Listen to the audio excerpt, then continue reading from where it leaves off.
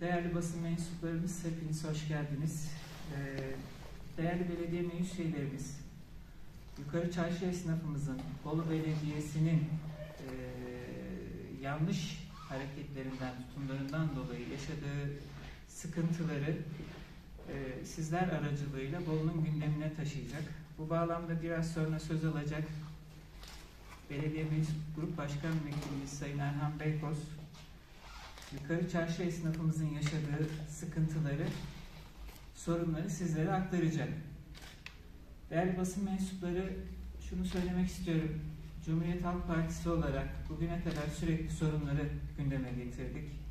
Mümkün olduğu kadar çözüm önerilerimizi ortaya koymaya çalıştık. Ama yarınki parti meclisinde büyük bir ihtimalle Cumhuriyet Halk Partisi'nin Bolu Belediye Başkanı adayı açıklanacak, ilan edilecek. Bugüne kadar olduğu gibi bugünden sonra da sadece sorunları değil, daha net, daha objektif bir şekilde çözüm önerilerini de ortaya koyacağız. Bu bağlamda partimizin yerel seçim süreciyle ilgili çalışmaları sessiz sedasız devam ediyor. Yarın adayımız açıklanınca bir bütün olarak çalışmalarımıza devam edeceğiz. Ben şimdi sözü değerli Grup Başkan Vekilimiz Erhan Beykoz'a veriyorum. Teşekkür ediyorum. Arkadaşlar hoş geldiniz. Saygıdeğer Bolu halkı ve sevgili basın mensubu arkadaşlarım. Tarihi koruyalım diye ülkemizin çoğu ilinde olduğu gibi Bolu'da da Başkan Alaaddin Yılmaz öncülüğünde 2010-2011 yılları arasında bir çalışma başlatıldı. Maalesef fiyatlardaki çeşitli farklılıklar esnafa yıkılmaya çalışılıyor. Biz Cumhuriyet Halk Partisi belediye meclis üyeleri olarak yukarı çarşıdaki farklı fiyatların ortaya çıkmasından sonra bir grup arkadaşımızla yukarı çarşıda çok ciddi çalışmalar yaptık. Bu çalışmalarımızın sonucu itibariyle de bütün çalışmaların sonuçlarını Bolu kamuoyuyla paylaşmak istiyoruz. Öncelikle yukarı çarşıda sokak sağlılaştırma ve Yukarı Çarşı Arasla Projesi adı altında yapılan tarihi dokunun korunması ve Bolu turizmine katkı sağlaması amacıyla bir çalışmanın 2010, 2011 yılında başladığını biliyoruz. Bu çalışma öncelikle Mimarlar Odası, Bolu Mimarlar Odası öncülüğünde başladı.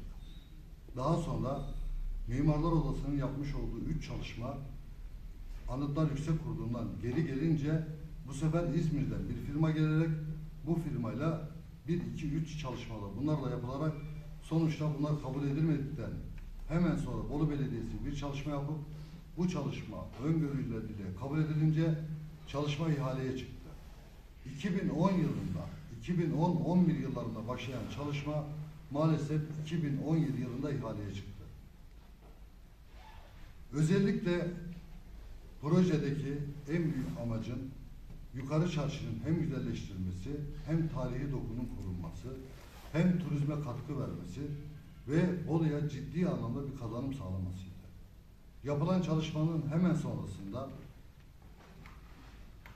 Bolu 2018 yılı itibariyle 6 aylık 7 aylık çalışmanın hemen sonrasında ortaya çıkan fiyatlar yukarı çarşıda zaten ekonomik olarak çok zor durumda olan esnafımızı daha da zorlamaya başladı. Oysa ki bu çalışmanın aynısı daha evvel Urfa'da, Gaziantep'te, Güney'de ve birçok ilimizde gerçekleşmiştir.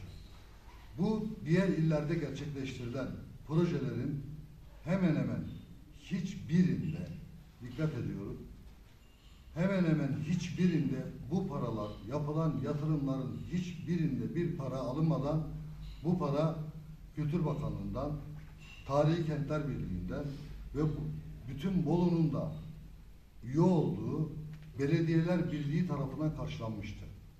Oysa ki Bolu'da 2017 yılında 7 milyon liraya ihaleye çıkan ve yapımına başlanan bir süre sonra bugünlerde de yavaş yavaş bitim noktasına gelen yukarı çarşının ortaya çıkan rakamları esnafımızı bir nevi, bir nevi komaya soktu. İşlerin bittiği, ekonominin dibe vurduğu, evine ekmek götürmekte zorlanan yukarı çarşı esnafına bu 7 milyon liranın tamamı yıkılmaya çalışıyor. Biz yukarı çarşıda yaptığımız çalışmalar sonrasında ortaya çıkan imalat fiyatlarının 1'e 3 olduğunu kanısına vardık. Burada arkadaşlarımızın çoğu ve teknik arkadaşlarımızla gezdiğimizde 300 liralık bir işin 1 milyon 600 bin liraya, 500 liralık bir işin 1 milyon 800 lira gibi bir rakamlarla fatura edilerek esnafın önüne konulduğunu görünce bu işin gerçekten artık bir rant kapısı olduğunu ve yüklenici firmanın bu işten çok ciddi kar edeceğini de ortaya koyuyor. Yukarı çarşıda esnafların sık sık bir araya gelerek davalar açacağını, davalar açmakta olduğunu ve verilen rakamların bu memleket için, bu memleketin esnafına yönelik olmadığını ortaya koyduğumuzda bunun bir diğer adının esnafı soymaktan öteye gitmediğinin altını çizmek istiyoruz. Saygıdeğer Bolu halkı. Öyle ki istenilen rakamlar 68 bin liraya artı KDV ile 78 bin lira olan bir imalatın daha sonra çeşitli katkı paylarıyla 94 bin lira yani 3 ayrı fiyatla fiyatlandırıldığını da görmekteyiz. En önemlisi de iktidara sahip olan belediyemizin ekonominin dibe vurduğu bu günlerde esnafımıza destek olmak yerine darbe vurmaya çalışmasıdır. Hükümetten aldığı güç ile bunun kabul edilemez olduğu da ortadadır. Bizim esnafımız bu parayı ödemeli. Ödemeli ama nasıl ödemeli? Daha evvel mecliste biz bunu daha farklı e, aylara bölerek ödemesi gerektiğini söylediğimizde biz bu çalışmayı yapmamıştık. Diğer illerde yaptığımız çalışmalar ve Bolu esnafına yıkılmak istenen rakamları ortada gördükten sonra biz hiç olmazsa esnafın kendisine ait olan elektriği, suyu ya da içerideki diğer yapılaşmaları kendisi tarafından ödenerek geri kalan paranın Belediyeler Birliği'nden, Tarihi Kentler Birliği'nden, Kültür Bakanlığı'ndan ve son anda gör, sokaklarda görmüş olduğunuz UNESCO diye bir e, reklamı yapılan UNESCO'dan alınarak Bolu halkına yıkılmaması gerektiğini buradan tüm arkadaşlarım adına söylemek istiyorum. Bu rakam da yaklaşık yüzde yirmilere geliyor. Yani 210 bin lira rakam çıkan bir adamın yaklaşık 40 bin lira para ödeyerek bu parayı tamamen sıfırlaması gerekiyor. Bu para Bolu halkının cebinden çıkacaktır. Bu parayı Bolu halkının cebinden almaya kimsenin de gücü yetmeyecektir. Kaldı ki yukarı çarşı esnafı bilir kişilerle mahkeme kararıyla yapılan imalatın ve yatırımın tespitini yaptığında sizler, bizler hepimiz göreceğiz ki bu rakamlar gerçekten istenilen rakamların üç katı olduğunda ortaya çıkacaktır. Buradan artık esnafın elinden, esnafın cebinden belediyenin elini çekmesi gerektiğinin de bilinmesini istiyoruz.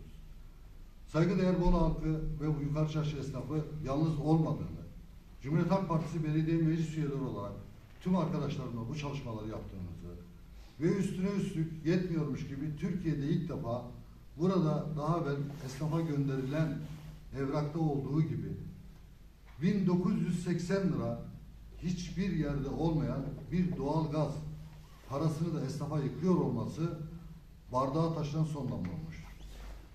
Türkiye'nin hiçbir yerinde, belki de dünyanın hiçbir yerinde yatırımcı firma hiçbir zaman doğal gaz parasını yatırım olarak almamış. Onu zaten üretilen doğal gaz karşılığında bu parayı tahsil edeceği ortadayken yukarı çarşı esnafına 1980 lira dükkan başına doğal gaz ücreti de çıkartmıştır. Bu çıkarılan ücret tamamen asılsızdır, mesnetsizdir ve dayanaksızdır. Bunun da altını çizerek önce yukarı çarşı esnafıyla görüşen belediye yetkilileri gerekirse bu parayı alamayacaklarını söylüyorlar. Burada en büyük akıl oyunu şudur. Ölümü gösterip sıtmaya razı etmeye çalışıyorlar. Biz yukarı çarşı esnafının yanındayız ve yukarı çarşı esnafı yalnız değildir. Bu parayı ödemeleri de mümkün değildir. Bu parayı ödedikleri an inanın geri almaları da çok zor olacaktır. Buradan kamuoyunu bilgilendirmek istiyorum. Saygıdeğer Bolu halkı. Geçtiğimiz haftalarda yine buradan çok önemli açıklamalar yaptık.